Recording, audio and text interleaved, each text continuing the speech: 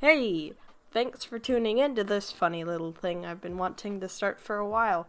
This is basically a series where I talk about different species of herps, reptiles or amphibians, and I will be talking about the origin, fun facts, and general care. This episode, in particular, will be focused on the Matamata turtle, which, of course, is a species of freshwater turtle that was discovered in 1783 by Johann Schneider, a German naturalist. The first turtle of the species to be discovered was found in South America. They are native to Bolivia, Peru, Colombia, the Guineas, Ecuador, and Brazil. Thankfully, the Matamata turtle is in no way close to extinction, although they're a relatively obscure animal in the pet trade. Now for some fun facts. I'll only be listing the ones I find interesting. There'll be a lot, though, since I find all facts relating to herpetology interesting. Number 1. The Matamata turtle has been renamed about 14 times in the last 200 years. Number 2. Matamata translates to kill kill in Spanish, and I can't pronounce it correctly since I'm terribly white, I'm sorry. They're named this because in South America, people often call unattractive women matamatas.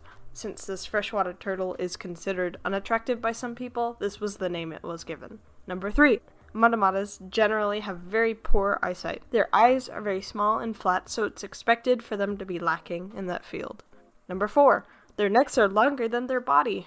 This is the most baffling and unique of all their characteristics. In fact, with this funny little neck of theirs, they can actually snorkel. This happens when the turtle extends its neck above the water to breathe. Number 5. The Matamata turtle's claws are webbed. This would help them swim, but they don't take advantage of this. Matamatas are actually very mellow and don't move much.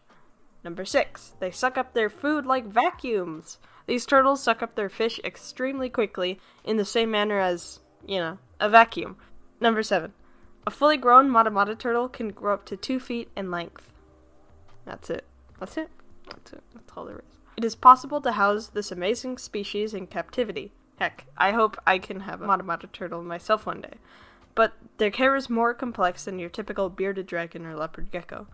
For starters, their tank must be of decent size but filled with acidic water. The pH levels should be no more than 6 and no less than 5. Although they vary in size and can grow very large. They don't need a whole lot of space, since, as I previously stated, they don't really move much.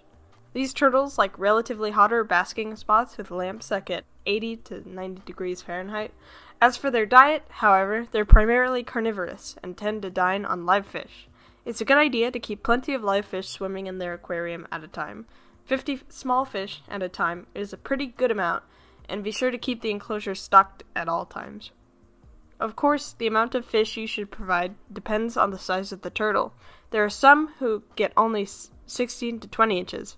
Smaller ones should be treated around the same, just with slightly smaller portions. The most recommended types of fish to provide would be feeder goldfish or rosy minnows, both of which can typically be found at your local pet store.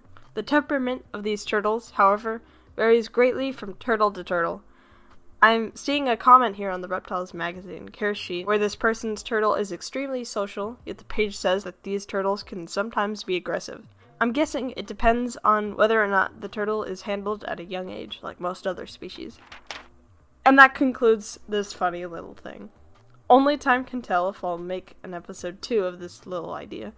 We'll see, but thank you for watching this one, though. I'll credit all my sources in the description, and if you're considering purchasing one of these animals, please do as much research as you can. I didn't go as in depth as I could have with this video, Plus, they're a very complicated species that requires a lot of dedication and hard work. If you're a beginner when it comes to reptiles, I'd recommend doing research on other, easier to take care of animals. But that is all. Thank you for watching.